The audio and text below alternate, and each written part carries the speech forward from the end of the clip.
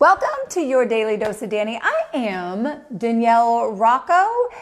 And what happens when you pick and choose your values? Or when it's convenient for you and when it's not convenient for you to stand by them? So this is what that looks like. Have you heard this?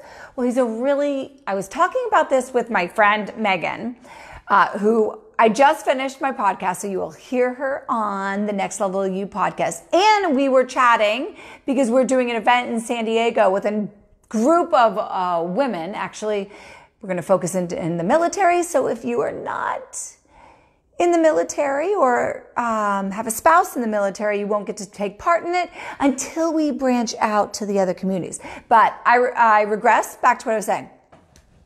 So these are the statements that happens I really like this. I really like him. He's my buddy. He's so cool. Yeah, I know he cheats on his wife, but I have so much other stuff in common with him.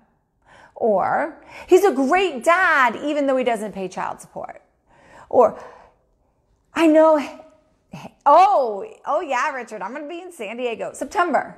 Well, actually, yeah, September, September 21st. September 21st, I'm going to be in San Diego for a whole week because then after that is my book red carpet um, event. So I'll be there so we can get together.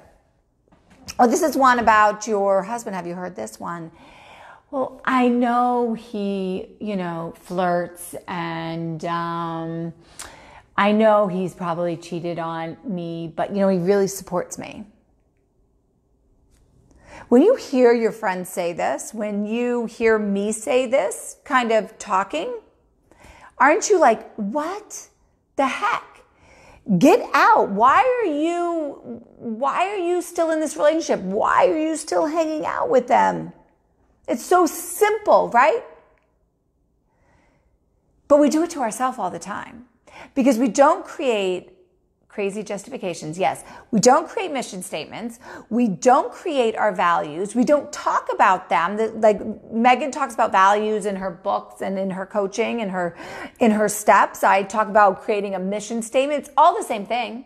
A business has a mission statement. A business has values that during the hard times it keeps you focused when you don't do it within yourself, you let those excuses that I just talked about come and you justify them. And then you feel stuck and then you feel worthless. And then you go into this spiral and all of a sudden you're not living your dreams. And all of a sudden you look around and the people that you have surrounded yourself with are not the people that are lifting you up. You create your own gunk that you choose to live in by justifying not, and making excuses for the bad behavior. If you have a friend who you were constantly contacting and they never contact you, what kind of friend is that? If you're giving 100% and every once in a while they say to you something great that makes you stick around, but then you find they never call. They don't return your text messages unless it's a response to you. Is that the friend that you want? Is that the person you want in your life? Are they bringing you up? Do you feel good? Probably no. Actually, I know no. Because everyone I talk to about a situation like that or it comes to me with a situation like that doesn't feel good about it.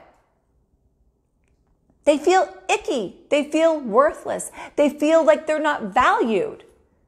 So these are the things that happen when you pick and choose your values.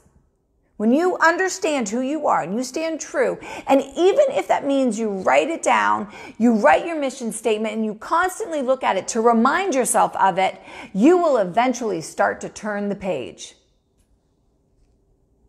Richard, you're going to have to tell me what two text rule means.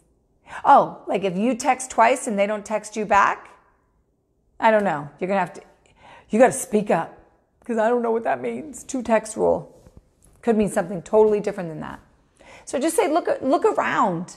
My eyes got really open to, to um, situations of like, whoa, if I'm putting in 100% and they're putting in 30%, and then sometimes you can be the one that always reaches out. Oh, I got it right.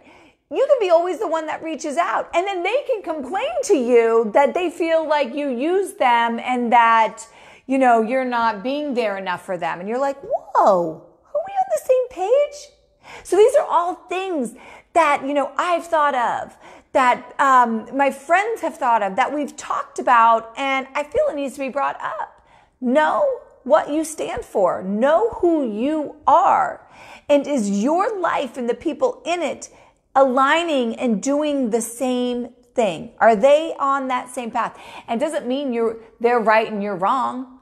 It just means that you are not on that same energetic level. And to create your abundance, to create that fulfillment in your life, to find that purpose and live in it, you need people that are running alongside you, not that are constantly running into you. And I will see you on the other side.